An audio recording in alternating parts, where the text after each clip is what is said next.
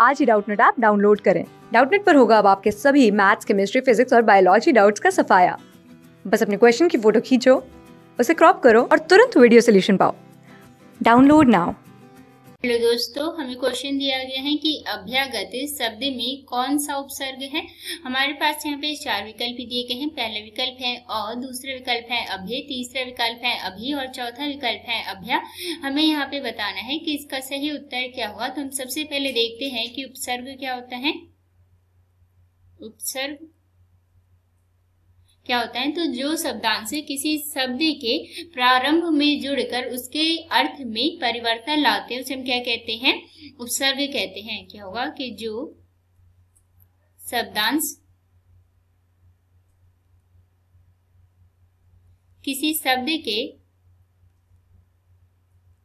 किसी शब्द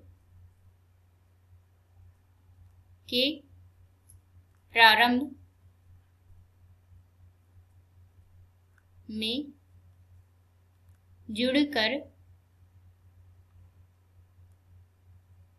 प्रारंभ में जुड़कर उसके अर्थ में परिवर्तन लाते हैं। में परिवर्तन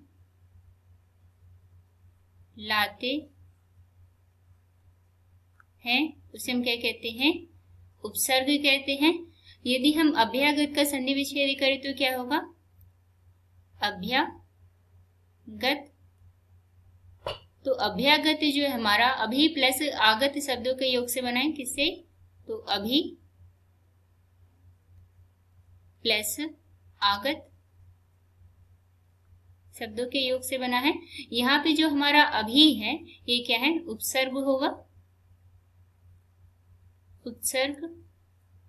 यदि विकल्प में देखें, तुम्हारा पहला विकल्प क्या है? अ तो अभ्यागत शब्द में हमारा उपसर्ग नहीं है, तुम्हारा विकल्प पहला नहीं होगा।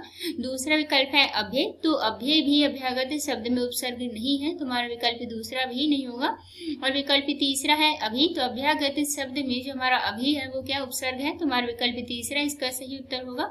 विकल्प चौथा है अभ्या तो अभ्या भी जो है, अभ्यागत शब्द में उपसर्ग नहीं है, तुम्हारा विकल्प चौथा भी नहीं होगा। अतः हम कह सकते हैं कि हमारा जो विकल्प तीसरा है, वो इसका सही उत्तर है। क्लास सिक्स से ट्वेल्थ से लेके NEET I I T JEE mains और एडवांस के लेवल तक। दस मिलियन से ज़्यादा स्टूडेंट्स का भरोसा।